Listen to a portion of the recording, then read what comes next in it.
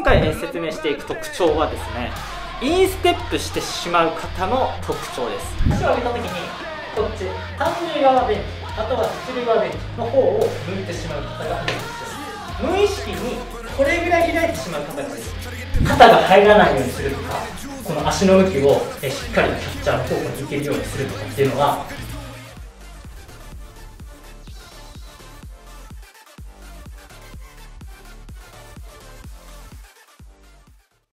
はいどうもブーベースボールの学部です、えー、今回の動画はですね、えー、またちょっと前回と同じで、えー、特徴ですね。こうなってしまう人の特徴というところを、え説明していく動画となっております。で今回、え説明していく特徴はですねインステップしてしまう方の特徴です。そのインステップをしてしまう多くの方がなっていることが多い特徴を今回紹介していきますのでもしインステップで悩まれている方がいれば、えー、もしかするとその原因があると思いますので、えー、ぜひご覧ください。はいでは早速インステップについての動画ですね、えー、進めていきたいと思います、え、まず最初に、えー、インステップがなぜダメなのかということです。もちろんねこのインステップをわざとすることによってバッターを打ちづらくしてですね武器にしている選手もいますので、まあ、そういった方はインステップを武器にしてるので、まあ、大丈夫かなと思うんですけどインステップしたくないのにまっすぐ踏み込みたいのにインステップしてしまう方の特徴を説明していき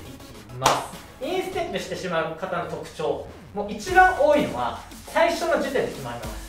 まあいろんなワインドとか、えー、セットポジションとかいろいろあると思うんですけど足を上げた際に右投げであれば左肩左投げであれば右肩。前側のキャッチャー側の肩ですね。が中に入ってしまう。インステップし,、ま、してしまう可能性が高いです要するにこの角度で言うとこう投げたいですよねまっすぐけど足を上げた時にこっち三塁側ベンチあとは一塁側ベンチ右投げであれば三塁側ベンチの方を向いてしまう方がインステップしやす。いこういうことですこういう角度でキャッチを見るような方こういうふうに足を上げる人はインステップなぜかというと今のこの肩の位置のラインでいうともう右投げであれば三塁側のベンチに投げたい方向を向いてるんですよ。こうこっちに投げたいのに向いてる方向はこの斜め向いてるか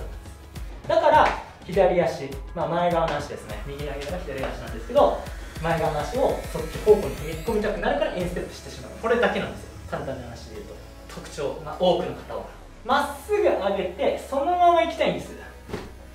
けど中に入れてしまってこっちに踏み込んでしまう。ということこれさえ理解できてればインステップは改善できてくるかと思います。でじゃあなぜこれ入ってしまうかというといろんな人がいると思います。で多くは開きたくないからとか強く投げたいからが原因です。強く投げたい時ってこの体の回転で強く投げれるじゃないですか。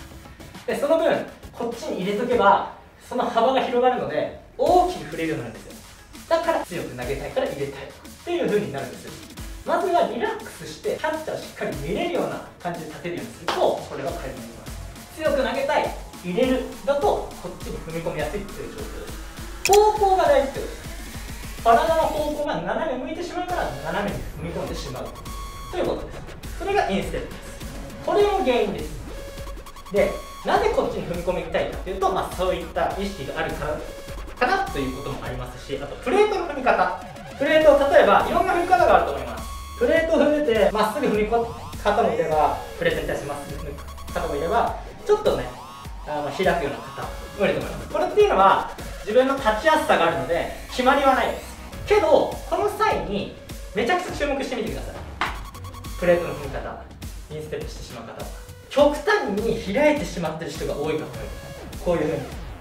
例えば僕だったらこっちに投げたいですよね。こういう風に投げたいんですよ。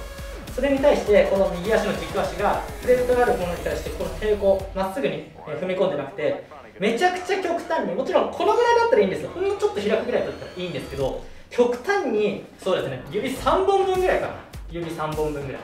の幅が入る方はインステップしやすいです。なぜならこれもうこの方向に向いちゃってるからですプレートがあってこっちに投げたい。これがまっすぐですよね。でこれぐらいだったらいいと思うんです。まだ立ちやすくなるので。でけど無意識にこれぐらい開いてしまう方がいるんです。そうするともうこの向きで言うとこうなっちゃうじゃないですか。棒が。なのでこっちに踏み込みたくななってしまうってことです。なのでこれって体のずれとかが生じてるので感覚の。特にセットポジションで投げてる方はこの、まあ、プレートですね。まっすぐ踏んでることが多いんですけどワインドを振りかぶるとか、まあ、こういう方いるじゃないですか。でこの時に軸足となる方の足を浮かしたりだとかするじゃないですか。例えばこのかかとを上げて押すとか浮かすとかいろいろあるんですその際に開き気味になるんですよ。こういうことです。その際にもうこっち向きたくなっちゃうんですね。足の角度的に。それをちょっとあの見直すといいと思います。インステップしてしまう方は。プレートの踏み方。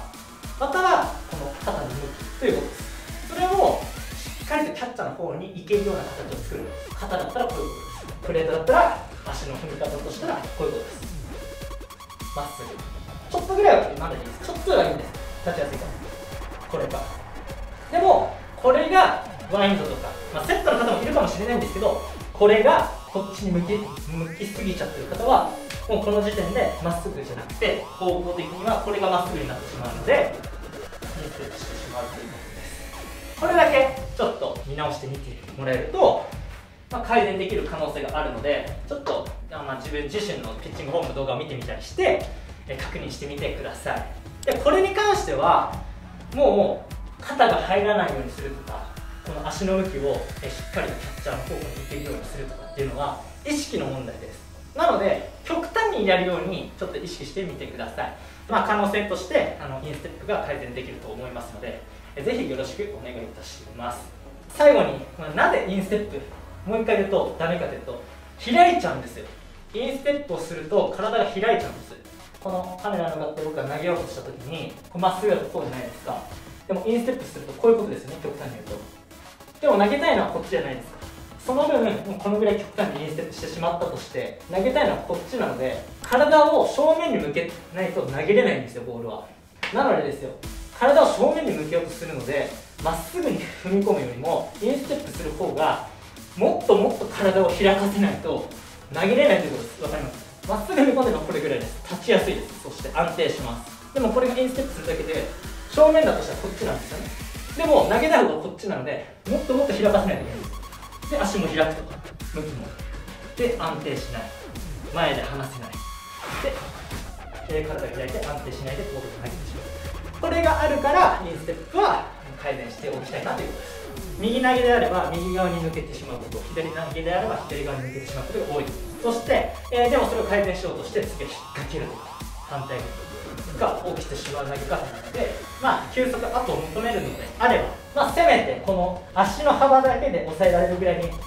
ておきたいなと思います、